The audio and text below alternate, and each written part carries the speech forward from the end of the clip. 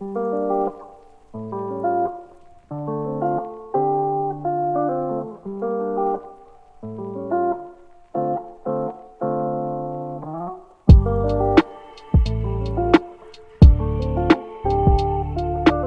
is up you guys and welcome back to another video. Today I actually got some new little bitty cleaner fish for the guppy tank. And as you can see there are plenty of guppies in here, especially babies, but there are no actual cleaner fish. Got a lot of snails in here, but like I said, no actual, you know, cleaner fish to help clean up the bottom. Now before I show you guys what I got today, earlier this morning I was actually doing a water change on this tank and some of the first plants that I planted in this tank were actually two little bitty subulata plants. Not very tall, only about two inches high. Well, I haven't even checked up on them, haven't really been able to see them because there's so many dang plants in here. But this morning when I was doing a water change on the tank, I looked back here in the back corner and there are tons of little bitty sprouts of subulata plants. Look at that. There's sprouts of it right there. There's more sprouts right through there. And if you pull back this creeping Charlie, you can see even more right down there. See that kind of grassy looking plant on the bottom?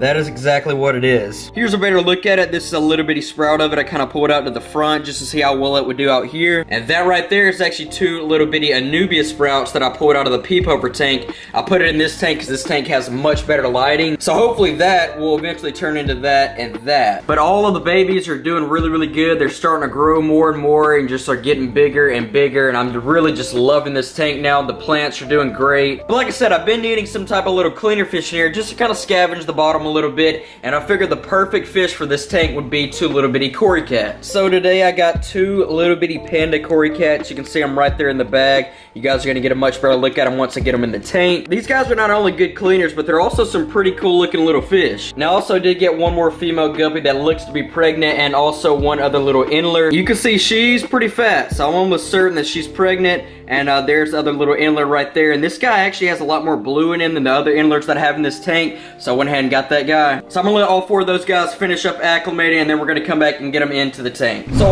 saying getting pretty dark. It's actually about time for it to cut into nighttime mode. And the little baby frontosa, these guys are doing really, really good. They're eating like little bitty pigs. And I think these guys are absolutely loving this tank, having it all to themselves with all the rock work in here and the sandy bottom. And besides the algae that started growing the rocks, uh, the tank's looking pretty dang good. Electric Blue Jack Dempsey's looking great as always. That's the bigger guy right there. And there's the smaller guy right there. Uh, but yeah, check this out. This was actually the light that I had on the Convict Cichlid tank before I escaped it and put the new LED light on it because it was much brighter. And I didn't have any other tank to put it on, so I just put it on this tank along with this light. Now, it's not as bright as this light, so what I did, I moved it to the back so that way the Amazon swords could have the much brighter light. But this light has more of a blue tint to it, so it actually brings out the colors, especially on the Electric Blue Jack Dempsey's a lot more than the other light did. So these lights each have their own benefits, and I mean, it looks kind of wacky. So if I turn the brighter light off, you can see, you know, it's not a very bright light, but it has that blue tint to it,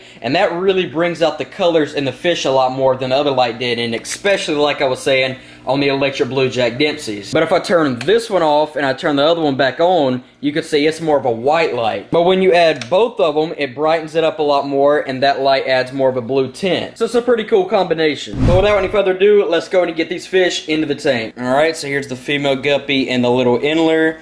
There those guys are. They're going to fit in just right with all the other guppies. So I'm an idiot because I actually stopped recording when I took the fish out of the tank to actually get a thumbnail with the camera. And I was going to start recording again a new clip when I actually, you know, went to put them in the tank. Well, I forgot to start recording it again. I just started talking to the camera without it even, you know, recording. But the fish are now in the tank. I mean, you guys didn't miss much. Both of the panda cories are right back here and look at them. Already starting to clean. And these guys actually look really, really good in here, uh, but I'm probably not even going to see them all that much because, I mean, just look at all the plants in here. And there's also this little bitty cave right back here, so they'll probably be coming back here quite often. But yeah, there are just so many hiding spots in here for them, so I'm probably not even going to see them that much. There's the new female guppy right there looking really, really good. There's actually the new Endler right there behind her. And uh, you can see all the blue in that guy. That is the main reason why I got him because all the other Endlers in here, look at that guy. Most all of them are more like a red Endler, and he just has a lot more blue in him, so that's the main reason why I got him. But these little guys should be a big help as far as keeping the bottom part of the tank pretty clean and, you know, taking care of any uneaten flakes. But for now, I'm just going to kind of let those guys get settled into the tank.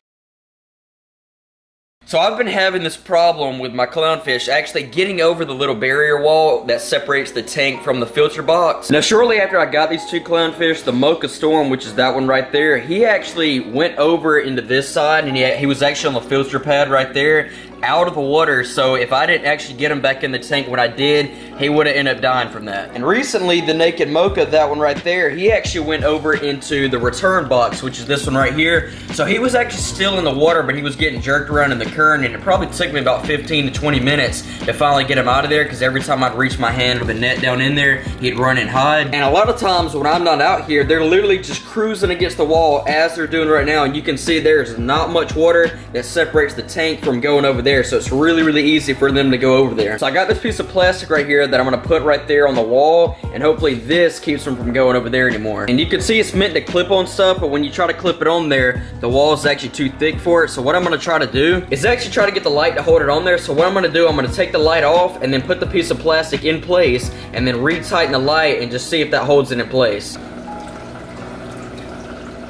I actually might be onto something here. I don't know if this will work or not, but uh, I think it might. All right, and there we go. So that right there should keep the clownfish from going over the wall anymore. And yeah, you do notice it, but with it being clear, it doesn't look too bad. Uh, I'll definitely end up getting used to it, but hopefully it fixes the problem that I had. There's one of the new panda cories right there looking great this morning, and uh, there's other one right back there in the little cave area. New female guppy right back there, and there is the new Endler right there. So all four of the new fish are looking and doing really, really good here this morning. Go ahead and give a few flakes to these guys, and you can see those guys just feasting on it. And you'll see all the babies start to come out in the tank and start to eat as well. And what I like to do is put a few bigger flakes in here, and then actually crush up a few flakes into some little bitty tiny pieces for the babies. And all these little bitty tiny flakes that don't get eaten and make their way to the bottom, those are for the little bitty panda cories to eat. That's gonna pretty much do it for now though. If you guys did enjoy today's video, don't forget to drop a like on the video, hit that subscribe button if you're new to the channel, and also let me know your guys' thoughts on the new little panda cories that I got for the guppy tank. Anyways guys, with that being said, I will catch you guys in the next video.